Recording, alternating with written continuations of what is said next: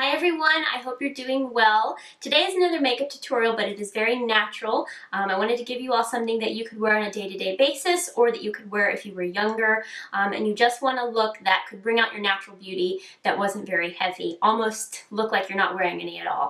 And since the fifth series of Downton Abbey is currently airing here in the United States, I figured that was the perfect way to tie it in to something. So this is my Downton Abbey inspired natural makeup look.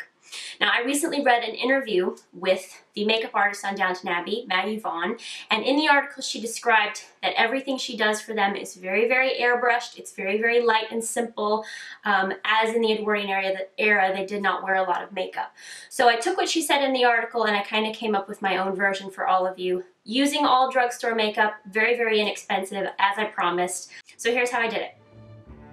I'm going to start with Revlon's Photo Ready Airbrush Mousse Makeup and just apply that all over my face using my fingers to really blend it in. And then I'm going to blend it out fully with a foundation brush. You can also use a sponge.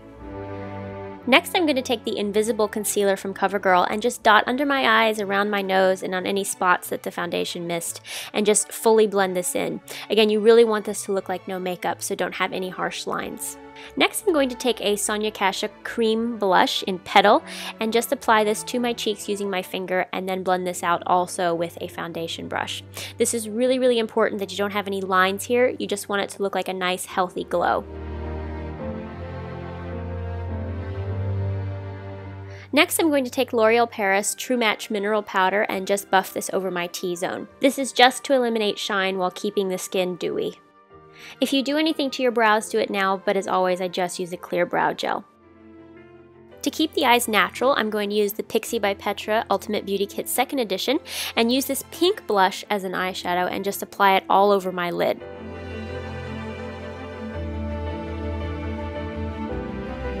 Next I'm going to take this taupey brown color and just apply it in the crease in circular motions to create a little bit of depth.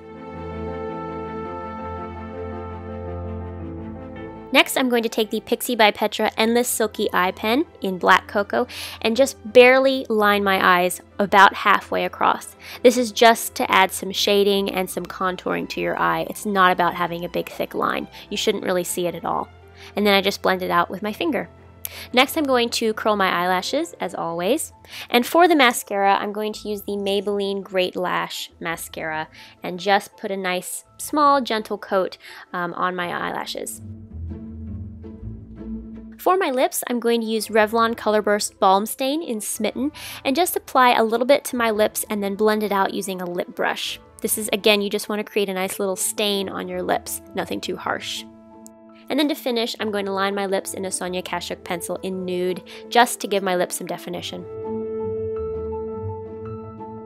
So that is it. Again, you can see it's very, very simple, just brings out your natural beauty.